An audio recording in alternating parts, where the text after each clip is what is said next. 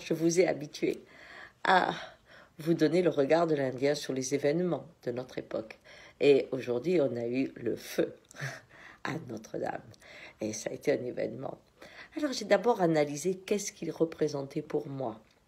Et j'ai été étonnée de découvrir que les premières images qui montraient les flammes dans la toiture ont amené chez moi un cri en disant mais non c'est pas possible et puis des larmes j'avais une émotion très très forte et quelques minutes après je me suis dit waouh ton mental. Parce que ça ce n'est que de l'émotion puisque Notre-Dame n'a aucun lien affectif avec moi. Euh, donc euh, je me suis dit waouh ton mental comment il t'amène à souffrir d'un symbole? D'un symbole qui est loin de toi. Qu'est-ce, à quoi tu dis non? Et à mesure que je pensais ça, je rentrais dans ce symbole. Hein, ce symbole, c'est-à-dire c'est un immeuble qui a été fait par des hommes qui sont détruits, mais quand même le l'intérieur, ce qui se passe dans cet immeuble, c'est la célébration de la création. Or, la création est en feu aujourd'hui. On va vers l'apocalypse, la prédiction. Bah oui, elle est en feu. Il n'y a aucun pompier, il n'y a pas un rond pour euh, pour la création et pour son monde vivant.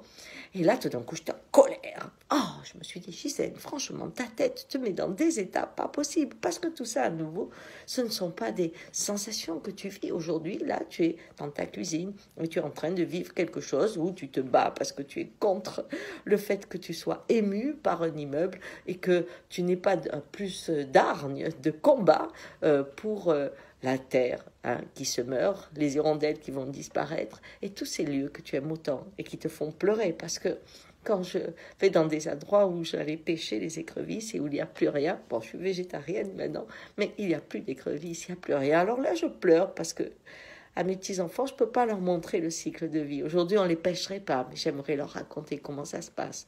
C'est la même façon quand euh, on va aller ramasser les télines, il n'y en a plus sur la plage. Et quand je vais dans la forêt, c'est tellement effrayant de voir tous les murets qui soutenaient la terre et permettaient que euh, les, lieux soient nourris et continuent à apporter de la végétation importante. Là maintenant, ça devient des lieux où la terre s'en va et on se retrouve avec le rocher, un peu le désert.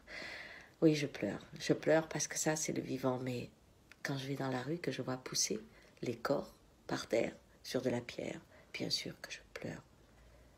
Mais quand je vois ces images où dans la mer les gens se noient et où on se demande on les prend ou on les prend pas, ils se noient ou ils se noient pas? Quand je vois les camps en Libye à qui on donne des sous pour vendre des gens 300 ou 400 euros, oui, je pleure. Je pleure parce que c'est du vivant. Alors comment se fait-il que on peut soulever les cœurs, les cris, la solidarité, le lien, la reconnaissance des pompiers et tant d'argent pour un symbole? C'est-à-dire pour ce qui n'est pas vivant, mais qui n'est qu'à la gloire de l'homme. Ça, c'est le message de Notre-Dame. Peut-être que Notre-Dame, c'est un cri qui dit arrêtez de regarder les pierres, retrouvez le contact avec ce que vous célébrez à l'intérieur de cette église. C'est la beauté de la création, protéger la création. Peut-être que Notre-Dame s'enflamme pour découvrir qu'on a peu de cœur peu d'âme pour ce qui est vivant, et que ceux qui détruisent le monde, les plus riches aujourd'hui, mettent de l'argent dans ce symbole, et ont oublié que c'est le cœur qui doit parler, mais là où le monde exprime la création de celui pour qui on a construit cet ouvrage. Oui, j'espère